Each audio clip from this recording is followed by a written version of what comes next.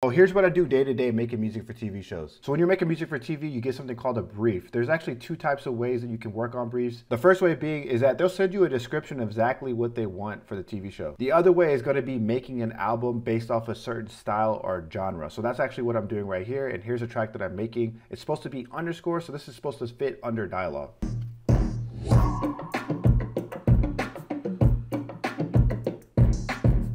Now that's just one track of the entire album. I have about six more to make. Typically I make about 10 to 12 per album drop. After that, I just bounce up the stems, I send it out, and it's rinse and repeat from there. That's all you gotta really do. If you ever wanted to know how to actually get started in this industry, I am doing a one-time free masterclass replay on June 3rd. We did this masterclass about a month ago. It was a great turnaround, a huge event. We dropped a lot of super valuable gems. And if you're looking to join us on that replay of the masterclass, click the link in our bio to get signed up.